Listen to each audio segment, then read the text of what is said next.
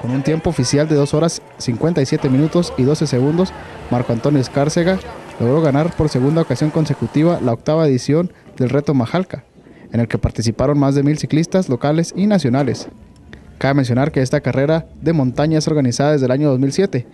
El objetivo del Reto Majalca es cubrir la distancia de este recorrido ecoturístico que consta de 80 kilómetros entre valles y cerros, saliendo del Parque Nacional Cumbres de Majalca hasta llegar a la meta marcada en el Parque Metropolitano El Rejón.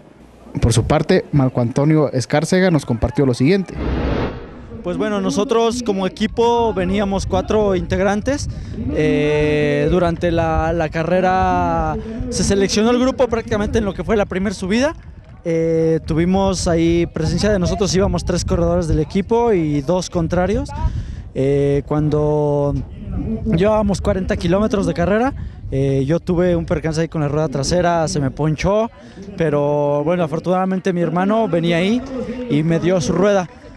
Eh, al final de cuentas ganamos la carrera, es el segundo año consecutivo que gano, es la tercera vez que gano, consecutivo segundo, como te digo, llevo cinco veces ya compitiendo, me gusta mucho este maratón y lógicamente pues yo creo que mientras estén mis posibilidades venir, aquí voy a estar.